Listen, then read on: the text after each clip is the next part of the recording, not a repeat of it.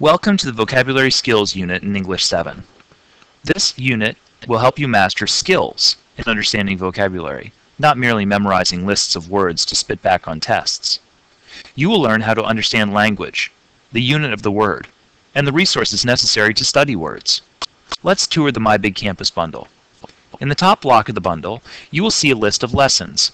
Each lesson is a worksheet designed to help you master the skills. Pay attention to the due dates next to the lessons and the due times. Make sure you complete each lesson not only on the date, but the time that it is due. In this top block, you will find two vitally important documents, the Vocabulary Skills Primer and the Vocabulary Lesson Model Example. We'll talk about them later. As you scan through the bundle, you'll see links to videos.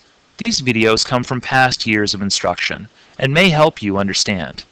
New videos from this year of instruction will appear in the bundle, so pay attention for them.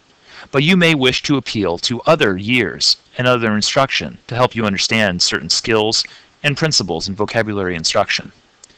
This is the introduction block. Below, you'll see blocks referring to each skill in the unit.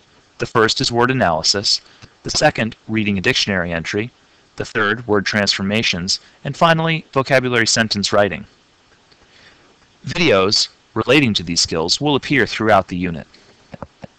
Each of these skills is discussed in the Vocabulary Skills Primer. Let's take a look at this document. This is your textbook for the unit. It is a few pages long, fairly simple and direct, and addresses each of the skills. Word analysis, reading a dictionary entry, word transformations, and sentence writing. Make sure that you are not only looking at this and reading through it once, but referring to it throughout the unit as you try to master each skill. The unit has been pared down to these four skills only. So, these few pages capture everything that you must be responsible for throughout the unit.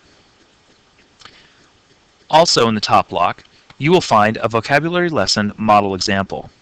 This is a model example of how you should complete the worksheets that represent each lesson. I will take a look at those in the next video. Make sure that you are following this bundle along throughout the unit.